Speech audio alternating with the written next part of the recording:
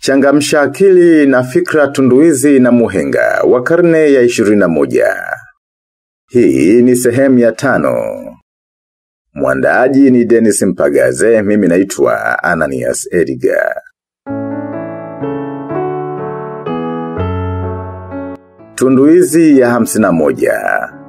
Mary Robbins aliwahi kusema kila mtu kwenye kitabu chake cha maisha kuna ukurasa hawezi kusoma mbele za watu kwa sauti.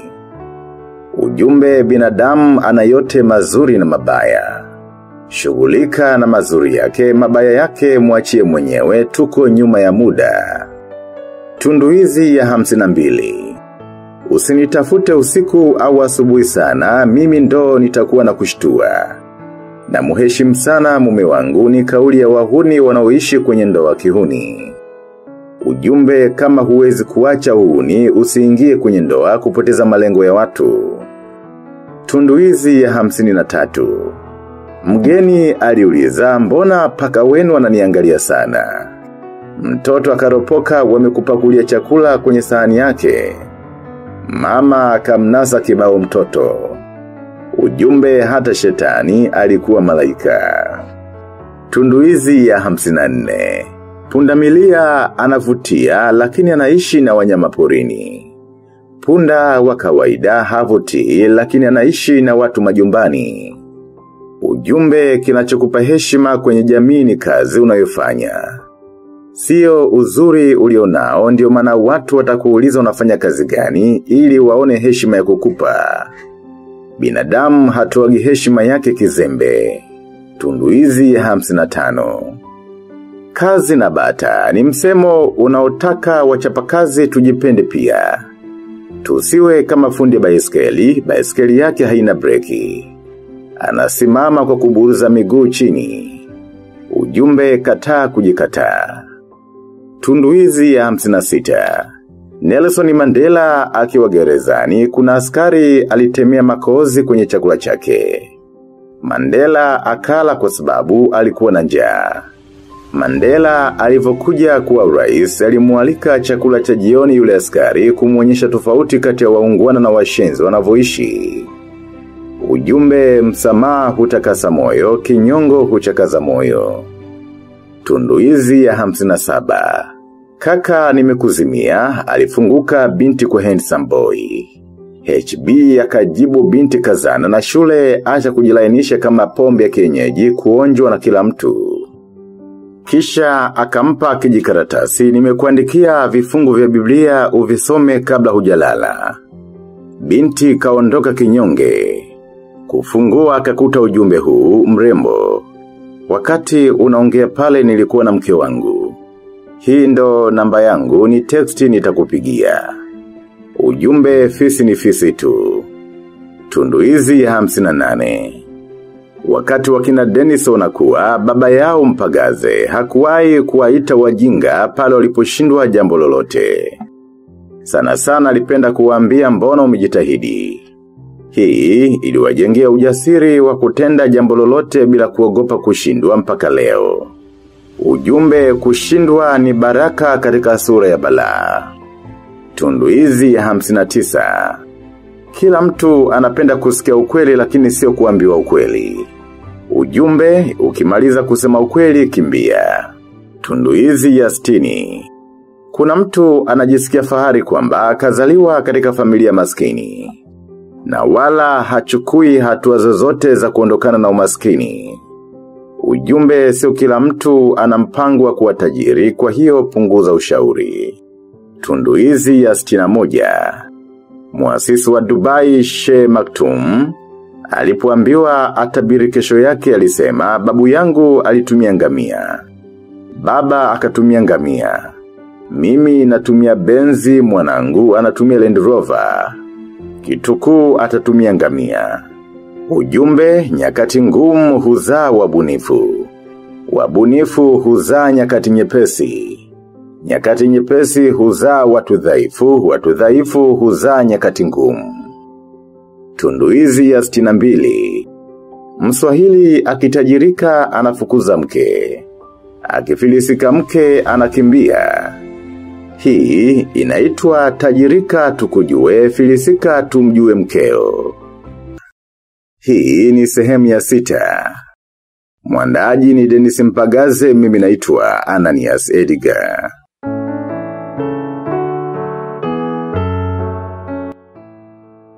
Tunduizi ya stina tatu. Dada umeolewa? Ndiyo nimeolewa lakini sio kivile ni majibu aliyotoa mke wa msela baada kukutana na muhuni.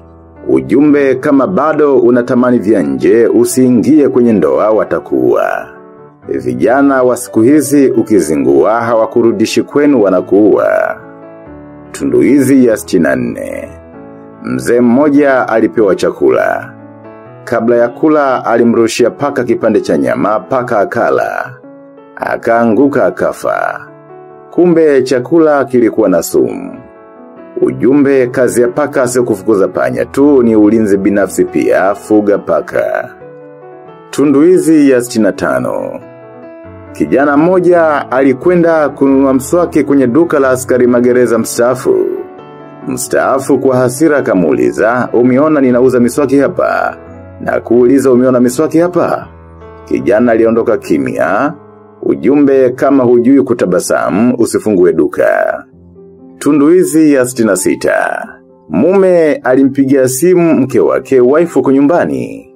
Ndiyo baba, washa microwave nihakikishe. Mke akaliwasha shwa jamaa karizika. Kesho tena jamaa aliuliza, hello upo home. Nipo mpenzi, washa microwave baby nisikie. Akaliwasha shwa. Baadaye baba akampigia mtoto. Hello binti, mama yupo nyumbani. Binti akajibu mama aliondoka na microwave tangu juzi hajarudi. Baba kazimia. Ujumbe binadamu hawaaminiki ukiwemo na wewe hivyo achana na mambo za kuwekeana mitego. Tundu hizi ya 67. Katoto kamaskini kalikuwa kanazunguka madukani kuona wazazi wanavyowafanya shopping ya watoto wao. Mama mmoja akakiambia na wewe chagua nguo. Kakachagua halafu kakamuuliza wewe ni mungu. Mama kauliza kwa nini? Kakasema nilimuomba mungu nguo ya sikukuu. Ulivonipa nikajua wewe ni mungu. Mama akakiambia mimi ni mtoto wa mungu. Katoto kakashangaa, ah, kumbe una mahusiano na mungu. Ndiyo maana. Ujumbe ukisha muomba mungu usilale. Tunduizi ya 68. Konokono kila napopita lazima aache uchafu. Ameumbwa hivyo huwezi kumbadilisha. Ujumbe kuna watu ni kama konokono. Usipoteze muda kuwabadilisha na wala usiwavumilie ukidhani watabadilika. Fanya kuwa kwepa ili wasikupoteze muda. Tundu Tunduizi ya 69. Abraham Lincoln aliwahi kusema ukinipa masaa sita kukata mti nitatumia masaa manne kunoa shoka. Ujumbe siri ya mafanikio ni kupanga kabla ya kuanza. Kupanga ni kuchimba kisima kabla hujapata kiu. Tundu Tunduizi ya sabini. Akili ni kama barabendi ili uitumie lazima uitanue. Kuna mtu anatanua barabendi kufungia pesa. Mwingine kufungia nywele. Mwingine si mbovu. Ujumbe, wewe huwa unatumia akili yako kutanua nini? Tunduizi ya sabina moja. Binti moja alikuwa na maembe mawili mama yake akamuomba moja. Binti akayamega haraka. Mama kuona hivyo akachukia kisha binti akasema. Mama chukua hili ndilo tamu zaidi. Ujumbe usitumie hisia kujaji. Tunduizi ya sabina mbili. Nuhu alianza kujenga safina kabla mvua haijaanza kunyesha. Alipomaliza ikanyesha.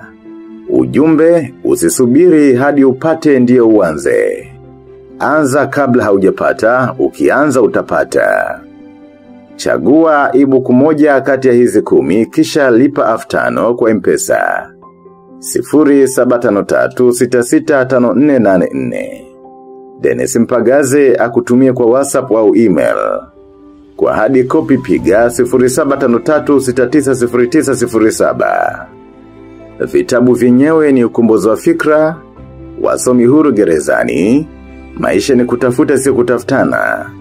Fungua ubongo, miamba ya Afrika. Viongozi wanaoishi baada ya kufa, viongozi walioandika majina yao vibaya. Ukombozi wa fikra za muafrika na mbinu 16 alizotumia Yesu kutoboa. Mwandaaji ni mwalimu Dennis Mpagaze, mimi naitwa Ananias Edgar.